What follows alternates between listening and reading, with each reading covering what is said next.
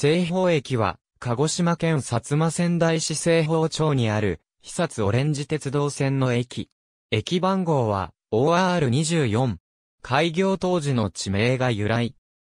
西方の地名の由来は、はっきりしていないが、一説にはこの地には、古くから高城郡が置かれ、西方は高城郡に西の端にしていたことから、西の方や西端、西方などと読まれており、それが西方に転化したという説や、古代の出水軍国形里の国形が転化したものに由来しているという説もある。相対式2面2000ホームの地上駅である。無人駅。上り方に補線用の側線が設けられている。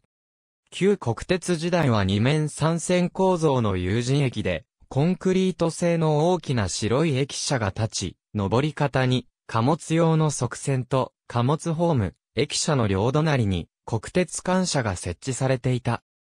ピーク時であった1970年代は、夏休みや連休を中心に、近隣の西方海水浴場への海水浴客や、川内高城温泉への観光客、当時客で大変賑わい、優等列車が臨時停車したり、西鹿児島駅方面から東駅止まりの臨時列車も数本設定されていた。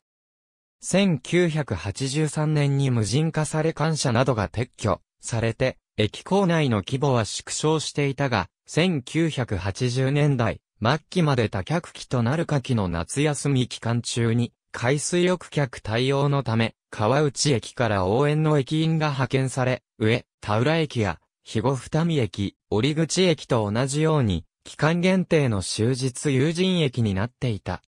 その後、完全無人化に伴い1988年頃に、駅舎が解体されるとともに、簡易待合室が設置され、2000年頃に抽選が使用停止され、実質2面2線となって、現在に至る。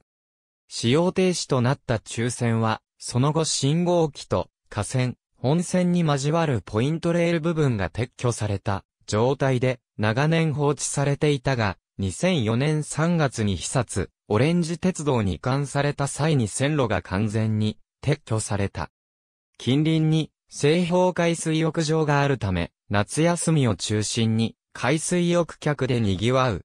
また、毎年8月上旬に開催される、海、ふれあい院西方夏祭り納涼大会の最寄り駅で、あるため、開催日は、駅前やホームが大変混雑する。